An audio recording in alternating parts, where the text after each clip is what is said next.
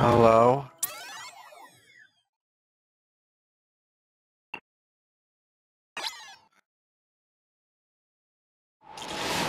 Hello? I've decided to stop making crossovers.